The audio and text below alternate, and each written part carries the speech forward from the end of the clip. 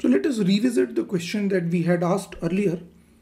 The question is, when is V norm with respect to P, which is defined as V transpose PV? When is this a valid norm? And we are asking this question only for symmetric matrices. So we are asking only for symmetric matrices. Now the answer to this is that whenever we can just define it like this. So we can say that whenever P is positive definite, right? So whenever P is positive definite, we can say that this is a valid norm.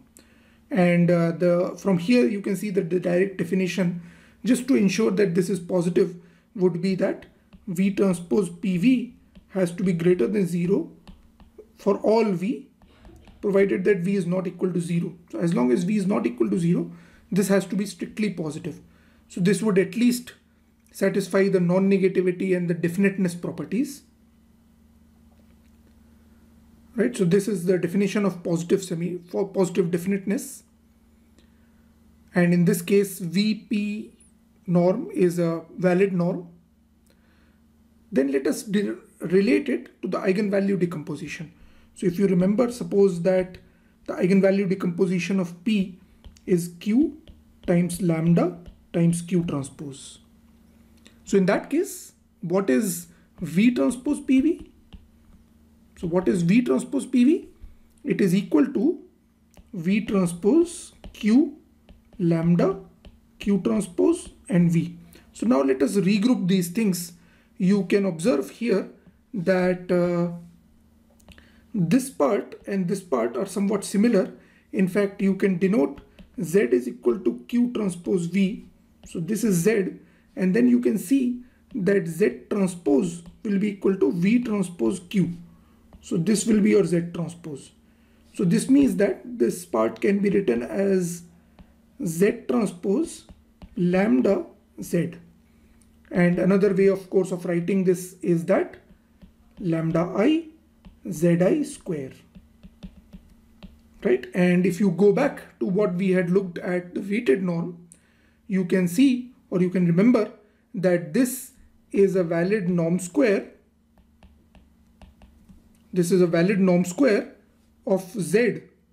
So this would be equal to z lambda. Right? So this is a valid norm square of z whenever. So for this condition we require that lambda i are all strictly positive. Right, so this is another definition of positive definiteness. So one definition is this one. So this is the first definition. This is another alternative definition. Note that this would ensure that it is a valid norm with respect to z. But here the mapping between z and v is one to one because you can say that z is equal to q transpose v and also you can say that v is equal to q, q times z because q transpose is q inverse. So there is a one-to-one -one mapping between v and z and that allows us to write in this way. So therefore it is also a valid norm with respect to v. The same would not have been true if q was not invertible. Right? We would not have been able to make a similar conclusion in that case. So summarizing, what we have seen so far is that a matrix allows us to define a valid norm whenever, valid norm in this way, whenever either of these properties hold. First property is that uh, V transpose PV is greater than 0 for all V not equal to 0 and the second property is that lambda i of p which is the eigenvalues of p are all 0 for all i all greater than 0 for all i. Actually uh, it turns out that these two properties are equivalent. We have not proved it but it is indeed the case that these two properties are equivalent. And uh, if either of them are true we say that the matrix p is positive definite right? It's a matrix P is positive definite and the notation we will use for that is that P greater than 0. Whenever P is uh, said to be greater than 0, we mean that it is a positive definite matrix. This does not apply entry wise.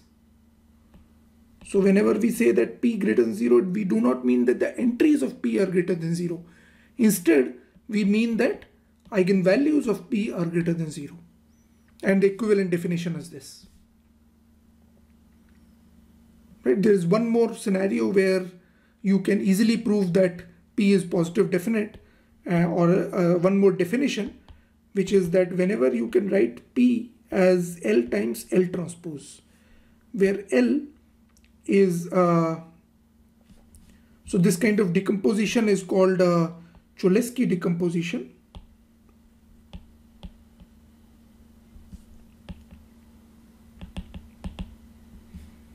Here L is a lower triangular matrix. Here L is a lower triangular matrix and uh, for P to be positive definite we require L to also be full rank. So why would that be the case? Why would this uh, imply that P is positive definite?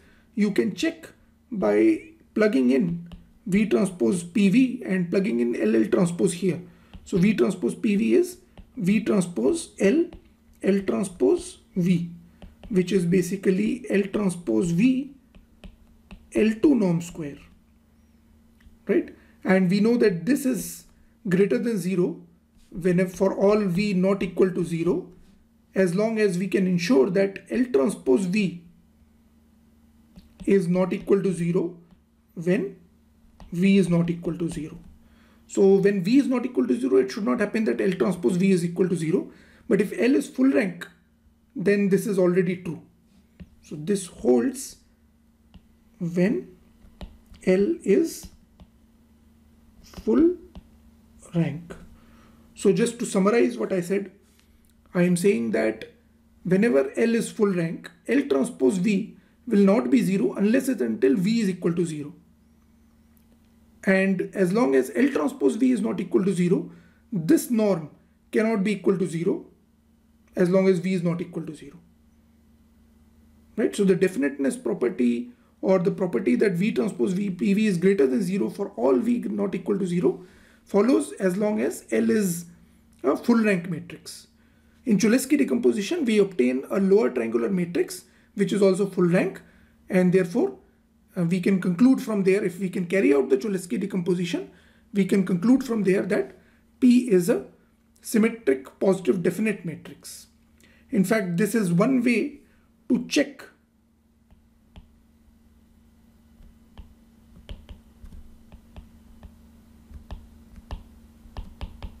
if a matrix is positive definite. So in MATLAB, you can try to find out the Cholesky decomposition of a matrix and if it is successfully carried out then we can we are sure that it is positive definite and otherwise it will give an error that there are negative eigenvalues.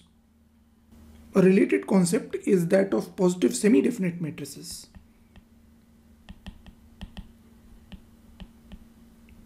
So the only difference here is that all the strict inequalities will get replaced with uh, non-strict inequalities. So a matrix P is said to be positive semi-definite if the notation for this is that P is greater than equal to 0. Again, I must emphasize this, this is not entry wise. So greater than equal to 0 does not mean that the entries are non-negative. Entries can be negative. Uh, other Another way of saying the same thing is that the eigenvalues are non-negative and then the this is related to the third definition which is that V transpose PV is greater than equal to 0 for all V. So now we don't need to enforce the condition that V not equal to 0. We can just say that this is greater than equal to 0 for all V. So as long as this holds then we say that matrix P is positive semi-definite and finally, I can say that if P can be decomposed like this, A A transpose, any A. This can be any matrix A. Right, any matrix A and in fact it can be of size n cross m also for any m right even then this decomposition is fine so then p is positive semi-definite. To see this to see this last property you can observe that. Suppose that I have a matrix which can be decomposed like this. Then we can see that V transpose PV for any arbitrary V evaluates to V transpose A, A transpose V, which evaluates to L2 norm square of A transpose V. Now by definition norms are always non-negative so this means that this should be non-negative regardless of what A is and regardless of what V is. So this means that automatically the third property gets satisfied. So this implies that the third property gets satisfied and therefore any matrix which satisfies this automatically satisfies the third property. So that's why this fourth property or, or ensuring that the fourth property holds implies that the third property also holds. So that is all for the positive semi-definite definition. Note that I must emphasize that here we are only considering symmetric matrices. Whenever the matrix is not symmetric, uh, this kind of definition, particularly this definition, cannot be used. And so in this course, we will not consider matrices which are not symmetric. For whenever we say positive semi-definite matrices, we will mean matrices that are symmetric right? The reason is that whenever matrices are non-symmetric, their eigenvalues need not be real. So if the eigenvalues are not real, then this notion of them being greater than equal to zero does not arise. So that is the reason we are sticking to symmetric matrices because for non-symmetric matrices, the, this positive semi-definiteness has to be defined in a different way. So just remember that. So whenever it is given that a matrix P is PSD, you can automatically assume that it is symmetric for the purpose of this course.